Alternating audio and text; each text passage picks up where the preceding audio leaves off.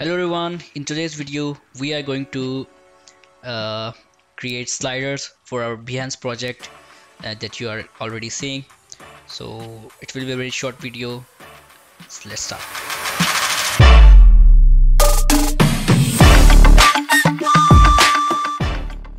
So like I show you uh, let me show you my recent project that I've done. Uh, in this uh, I added a slider. This slider uh, you can be very creative. It's very simple um, uh, that I created. You can be very creative. I just wanted to add slider. So for the next maybe I will use it in a better way. Uh, if you also want to use it in your project you can use it. There's other example. That's much better I guess. Uh, that the photo manipulation that I have done. Uh, add a slider.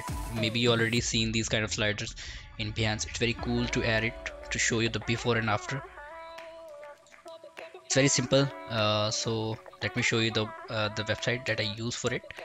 It's a website called Juxtapose. I will add the link in the description. And for like creating the slider just scroll down. And you have to add your two images the left image and the right image. So that just have to click on Dropbox icon. Simply add your image through upload file. Or if you have an account if you don't just simply log in and create an account and upload file. I already uploaded the files. Let's say I add this for left image. For like right side I upload this one as you can see the preview we can already see the preview. Uh, slider it's working and for the codes uh, exactly give you the codes. You can't just download it. You have to click on the publish button and there is the codes.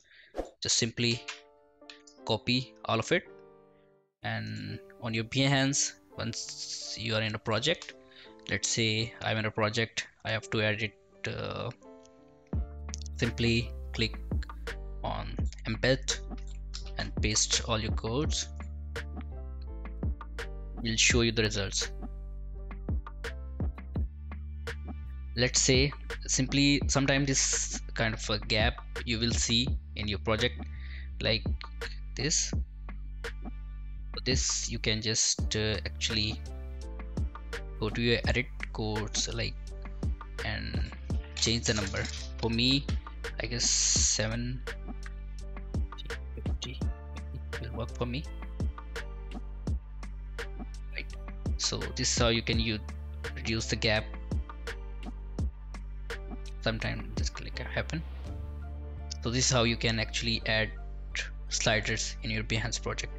So I hope you like the video uh, it will be very helpful for you. You can use in your projects Behance project and different other projects uh, on Behance.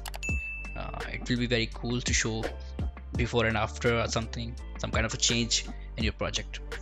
So I hope you like the video. Thanks for watching